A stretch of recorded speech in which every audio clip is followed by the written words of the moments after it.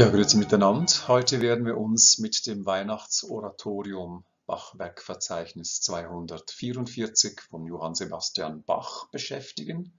Besser gesagt eigentlich nur mit dem Eingangschor. Wir werden dabei klären, was der Unterschied zwischen einem Oratorium und einer Kantate ist und wir, wir werden deren musikalischen Teile kennenlernen. Wir befinden uns im Jahre 1734, 1735.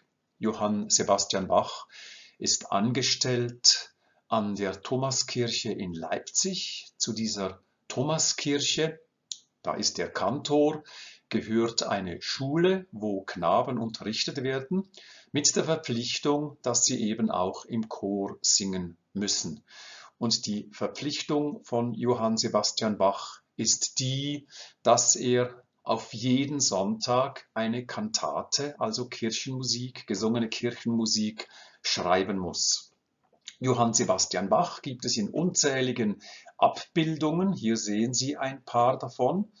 Ein ganz berühmtes Beispiel ist auch die Statue vor der Thomaskirche in Leipzig selbst. Er wird auf Briefmarken abgebildet. Bach als junger Mann, und das Markenzeichen von Bach in dieser Zeit des Hochbarock ist wohl seine Perücke, die große Haarpracht, die eigentlich Jugendlichkeit vortäuschen möchte. Im Wort Weihnachtsoratorium steckt das Wort Oratorium drin.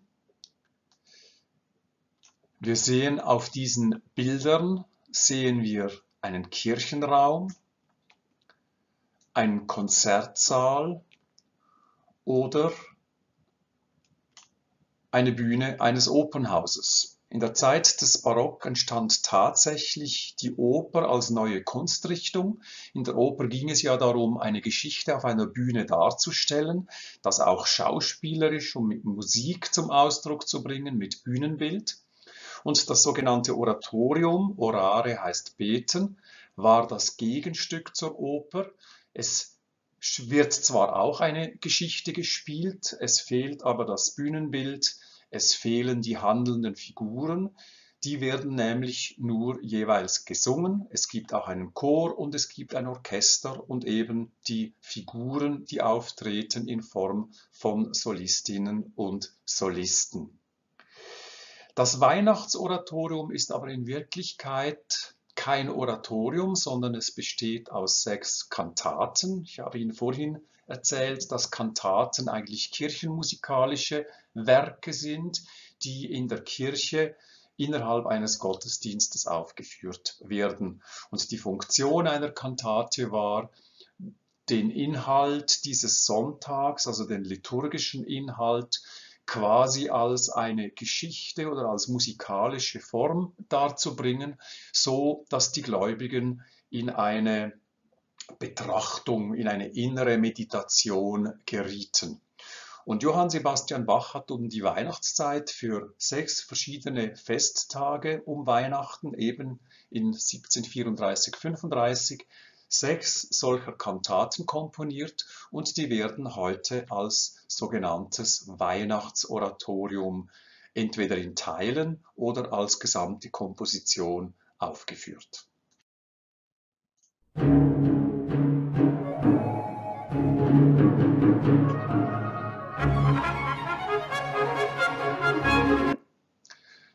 dieser sehr typische Anfang in den Pauken, dieses Bom, Bom, Bom, Bom, Bom, diese Quart hier ganz zu Beginn, die ja ein sehr typisches Intervall für Pauken sind, übrigens hier gleich fortgeführt, bam, bam, bam, bam, bam, bam, bam, und zwischendurch die zwei Flöten, die so eine Flatterbewegung machen, und dann die zwei Oboen, die eine Flatterbewegung machen, und dann, wenn die Trompete 1 und 2 und später die dritte, das sehen wir jetzt hier nicht, so Fanfaren, Klänge aufwärts spielen, stürzen sich die Flöten und die Streicher stürzen sich durch die ganze D-Dur-Tonleiter nach unten. Sie werden dann übernommen in der zweiten Geige in den Bratschen und in den Celli Kontrabass und der Chor setzt dann später ein.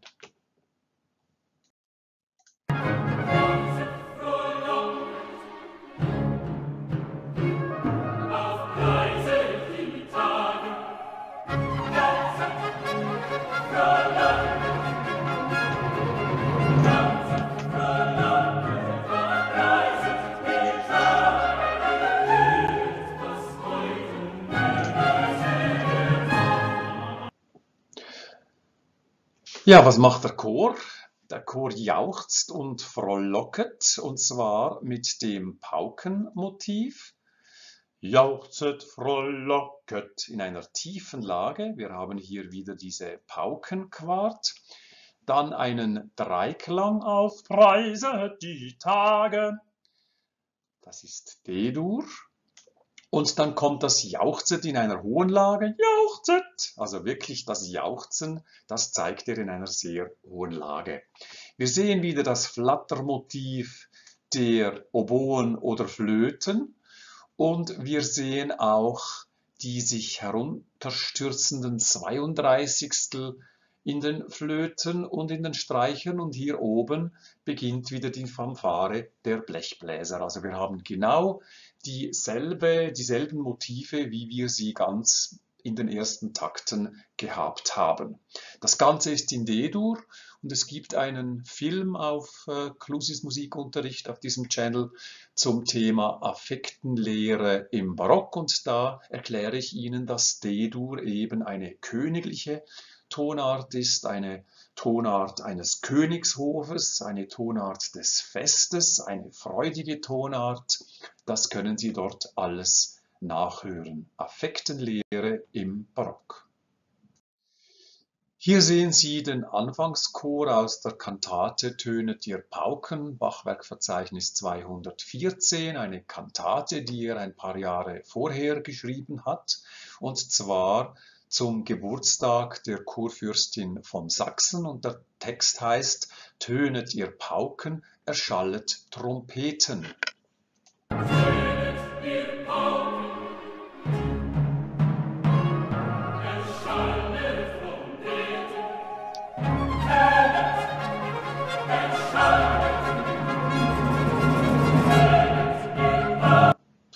Und wie Sie unschwer feststellen können, ist das eigentlich musikalisch genau dasselbe wie beim Weihnachtsoratorium.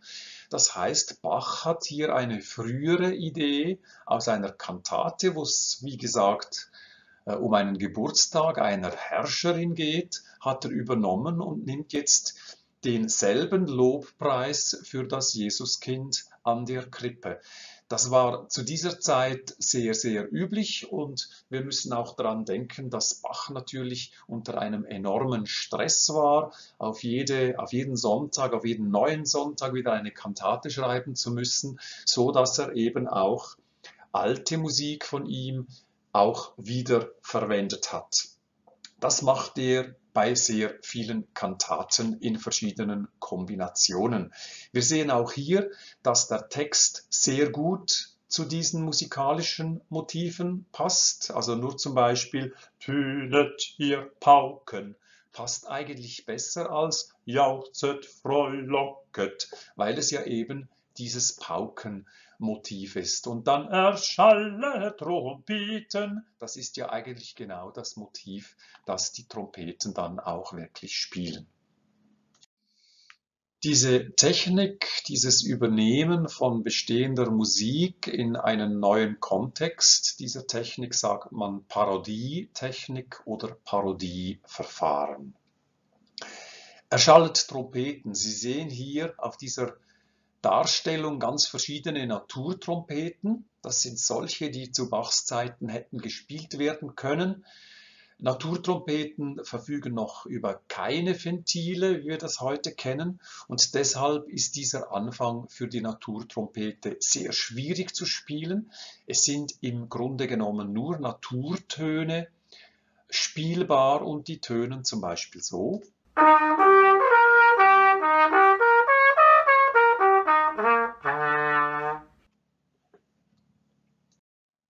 Und bei Tönet ihr Pauken wären das zu Bachs Zeiten eher solche Pauken gewesen hier. Ich mache sie mal ein bisschen gelb, also Kesselpauken, die stimmbar sind durch so Flügelschrauben und nicht unsere modernen Pedalpauken, die schon chromatisch spielbar sind. Was Sie hier in der Mitte sehen, das ist keine Pauke. Ich weiß, dass wir in der Schweiz sagen, das sei eine Pauke, wenn eine Blasmusik an uns vorbeimarschiert, aber in Wirklichkeit ist das eine große Trommel. Eine große Trommel hat immer zwei Pfähle oder hat einen offenen Kessel, je nachdem. Hingegen die Pauke, die hat einen geschlossenen Kessel.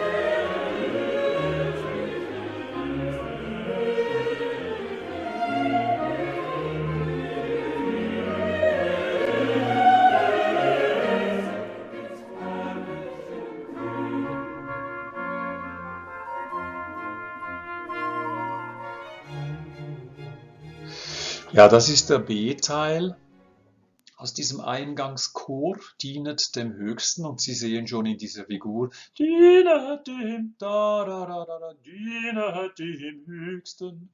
Also ist so eine Unterwürfigkeitsgeste, eine schnelle Tonleiter nach unten. Der Tenor setzt ein, der Bass setzt ein, der Alt und der Sopran ist sehr komplex polyphon gemacht der B-Teil eher in einem Moll-Charakter, A-Moll als Paralleltonart zu D-Dur und nach diesem B-Teil wird dann wieder der A-Teil kommen in der Tonart, in der Haupttonart D-Dur.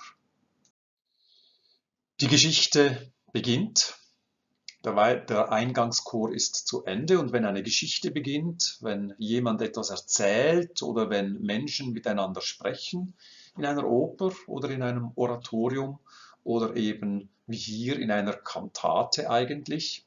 Dann gibt es einen Evangelisten, der Erzähler, und der singt in der sogenannten Form eines Rezitatives, singt er die Geschichte. Und der Text ist jetzt äh, eins zu eins übernommen aus der Bibel. Bevor wir das hören, möchte ich aber noch darauf hinweisen, dass diese Teile also zum Beispiel Eingangschor, wie Sie hier links sehen, oder eben Rezitativ, die Arien, Chöre oder Choräle, die kommen in all diesen Gattungen, Oper, Oratorium oder eben auch Kantate vor. Das sind so, sozusagen die musikalischen Teile, aus denen diese großen Gattungen bestehen. Jetzt aber zum Rezitativ und zum Evangelisten. Sie sehen, es, äh, ein Rezitativ wird hier begleitet durch eine Bassstimme. Das kann ein Cello sein und die Harmonien werden gemacht durch eine Orgel oder und oder eine Laute. Es begab sich aber zu der Zeit, dass ein Gebot von dem Kaiser Augusto ausging, das alle Welt geschätzt wird und jedermann ging, dass er sich schätzen ließe, ein jeglicher in seiner Stadt. Da machte sich auch auf Josef aus Galiläa, aus der Stadt Nazareth in das jüdische Land, zur Stadt David, die da heißet Bethlehem. Darum, dass ihr von dem Haus und Geschlechte David